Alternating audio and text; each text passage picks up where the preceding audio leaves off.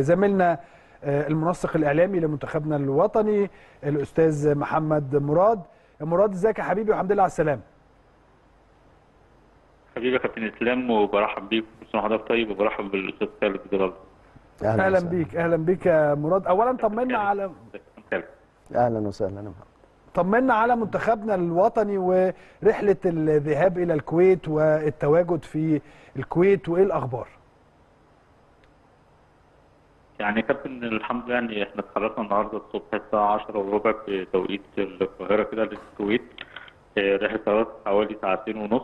آه آه وصلنا كان في تدريب النهارده الساعة 7 بتوقيت الكويت 6 بتوقيت مصر. ضربنا على استاد نادي الكويت الكويتي.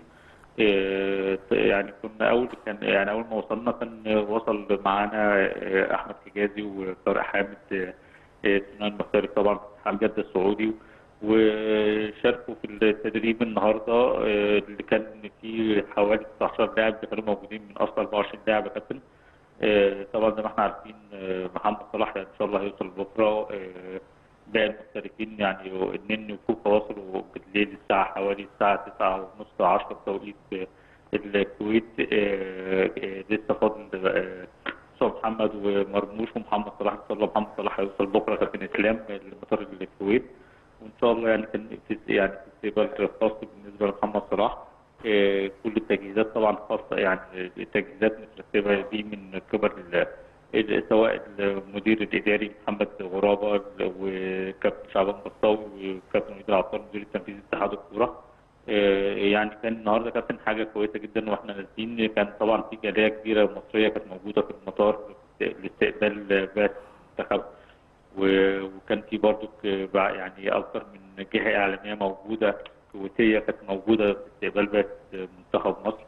الحقيقة يعني الترتيبات كانت كويسة جدا سواء في الاستقبال أو أو الوصول للمطار. نعم. أو حتى الترتيبات الخاصة بالملعب والتدريب.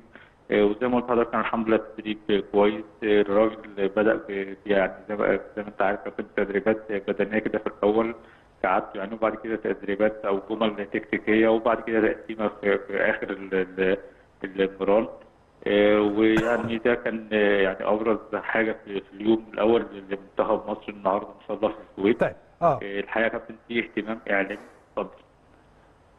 أنا كنت هسألك عن الاهتمام الإعلامي أو كيف ينظر أو تنظر الصحافة الكويتية لهذه المباراة الكبيرة يعني المصنف الثاني عالميا مع منتخبنا الوطني. أعتقد اللي هو المنتخب البلجيكي يعني المصنف الثاني عالميا مع المنتخب الوطني. أعتقد مباراة كبيرة جدا على الأراضي الكويتية.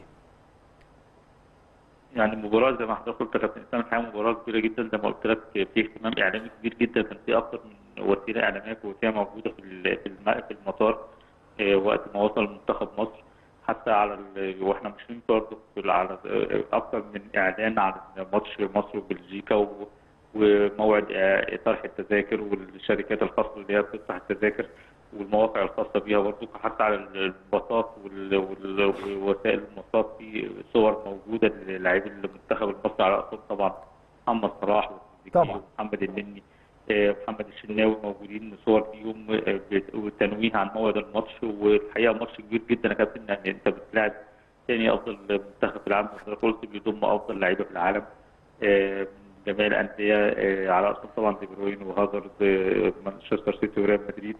اهتمام كبير جدا يا كابتن بالماتش. في يعني إن شاء الله يعني حتى الجاليه المصريه هنا بي بيتكلموا إن في اقبال على التذاكر. إن شاء الله يبقى الاستاد ممتلئ عن آخره. أيوة. وزي ما قلت لك يا كابتن يعني منتخب بلجيكا هيوصل يوم 15 للكويت لكن الحمد لله يعني زي ما زي ما حضرتك اتكلمت إن في اهتمام كبير جدا بالمباراة وإن شاء الله تبقى مباراة تليق باسم الكرة المصرية ومنتخب مصر والكويت بإذن الله.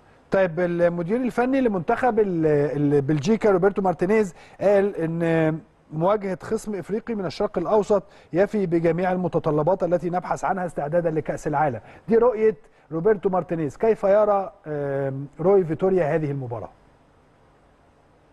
يعني طبعا هو روي فيتوريا مستر فيتوريا طبعا عارف المباراة صعبة جدا ومباراه قوية جدا مع مع منتخب زي ما حضرتك قلت كابتن إسلام ثاني منتخب في العالم. نعم. مباراة صعبة جدا عايز طبعا يعني كان لعب ماتشين تدريجيين نيجر وليبيريا والحمد لله فزنا فيهم.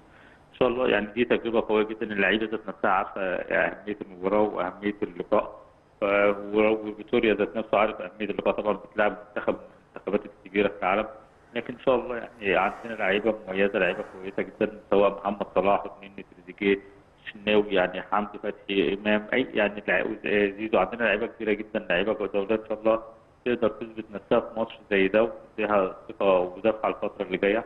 أيوه. تصفيات كأس العالم وتصفيات أمم أفريقيا الفترة الجاية إن شاء الله تبقى تجربة كويسة تجربة مميزة بإذن الله.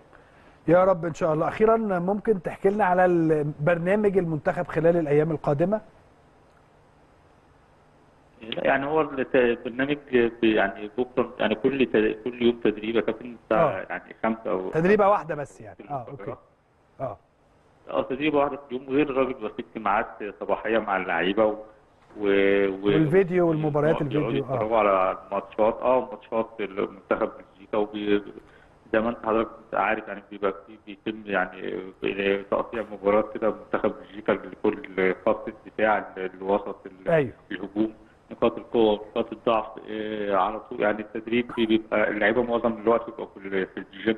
ففي يعني ده معظم الجدول ال- ال- الخاص بالمنتخب الفترة اللي جاية في- قبل ماتش آه، الكويت إن شاء الله.